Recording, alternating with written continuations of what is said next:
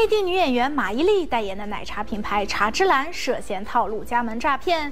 马伊琍在微博发文向加盟商道歉，并声称已经与该品牌解约，目前正积极配合警方进行调查。上海市公安局成功侦破当地首宗以虚假品牌奶茶招商网站吸引加盟商、虚构履约能力骗取加盟费的套路加盟合同诈骗案，涉及花点点、茶之蓝等五十余个奶茶品牌。作为茶之蓝代言人，马伊琍工作室在微博发表声明，声称我方于第一时间向该品牌提出解约通知，并积极配合经侦工作，提供线索及信息。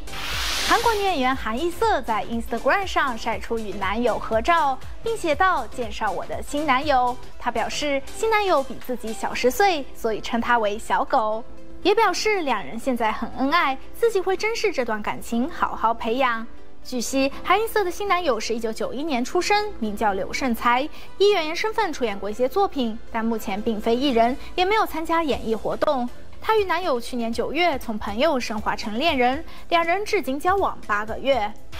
曾经风靡全亚洲的日本女星酒井法子，在二零零九年陷入前夫吸毒丑闻之后，事业便一蹶不振。而最近她东山再起，转战当 YouTuber，并开设了自己的 YouTube 频道。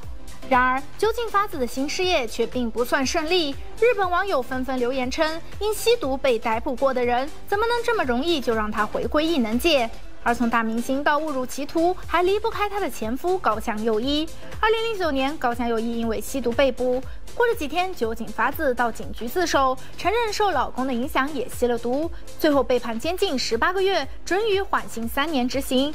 这一事件自然也让他跌落娱乐圈神坛，不仅当时的事务所和他解约，酒井法子也受到了来自多方的批评。婚后鲜少露面的男神王力宏最近迎来了四十五岁的生日，他在微博放出自己的新造型，让网友大呼惊讶。原来他一改奶油小生的形象，留起长发、蓄起胡须的狂野大叔造型，引起热议。照片中，他身穿白色衬衫，黑色长发绑成一根根脏辫，下巴长满浓密的胡须。他还配文：“老实说，我不记得上次刮胡子或剪头发是啥时候了。”要说2021年谁最出圈，必须是咱妈张小斐。凭借一部《你好，李焕英》红遍大江南北的张小斐可以说是大器晚成。最近在接受采访谈到年龄时，张小斐表示，三十五岁也有很好的一面，并不是女性的中年危机。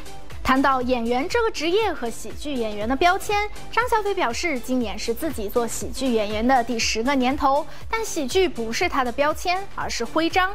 对于很多人提到的中年危机焦虑，张小斐也不太在意。他认为每个年龄都有不一样的独特魅力，自信才是最大的武器，并让大家期待他的新作品。以上就是本期亚洲娱乐精华的全部内容。如果你通过 YouTube 收看，千万不要忘了订阅和点击小铃铛哦。那我们下期再见吧。